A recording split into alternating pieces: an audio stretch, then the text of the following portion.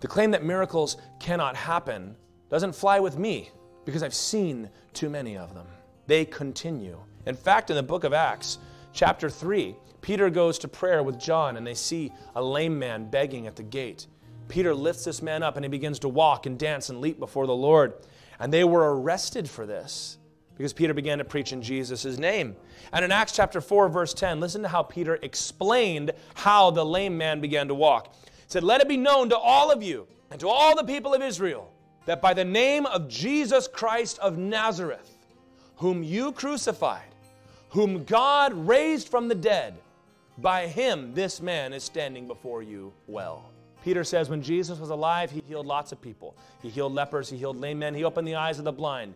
And the reason we are still seeing lame men healed is because Jesus is alive. He rose from the dead. And this is the proof right here. And the book of Acts is filled with stories of miracles and the Lord intervening. The Holy Spirit came down upon the church and empowered them not just to testify of the gospel, but to testify with power.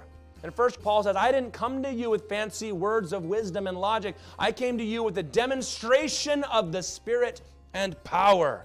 That the miracles of the early church were a sign of the ongoing work of Jesus. And even to this day, we see the Spirit of Christ at work.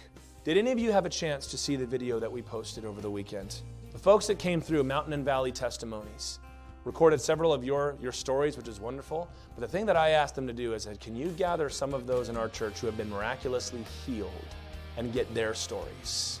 And we did that. And several people are in there giving the story of how God didn't just save their soul, He healed their body. Because God is still working today. Jesus is still alive. If you in this room have been healed by the power of the risen Lord Jesus, raise your hand. Hallelujah. Jesus is still alive.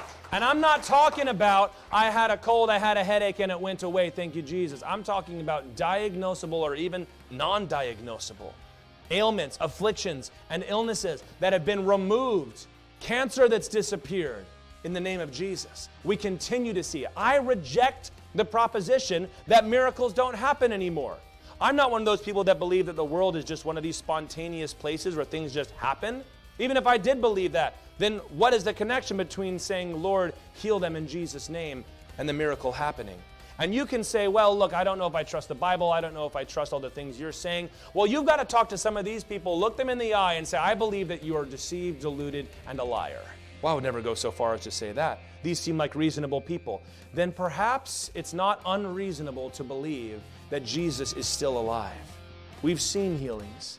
We've seen visions. We've seen prophecies. We've seen the like happen here, happen abroad, wherever the gospel goes. I have a friend from Nepal who became a Christian. He was a witch doctor, friends. A witch doctor. He was demon possessed, who had a dream that told him to call upon the name of Jesus and he would be saved. He had never heard that name in his life. He begins to pray to Jesus and he was healed. He was dying from alcohol poisoning on his bed.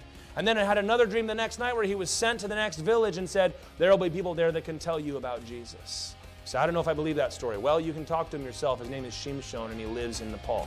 I know his name, I know his son, and I've got his picture. But you know what? People put their head in the sand for these testimonies just as they put their head in the sand for the risen Lord too. Craig Keener has written an amazing book called Miracles Today, where he documents miracle testimonies with receipts, doctor's notes, ultrasounds, blood work of what has happened to people. Christ is still working today.